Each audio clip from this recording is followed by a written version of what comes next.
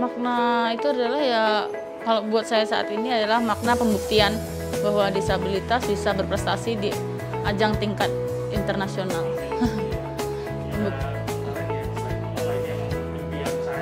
oh ya uh, seluruh atlet kali ya mas, seluruh atlet pengen menjadi juara di ajang tertinggi dunia ini dan saya sudah meraihnya.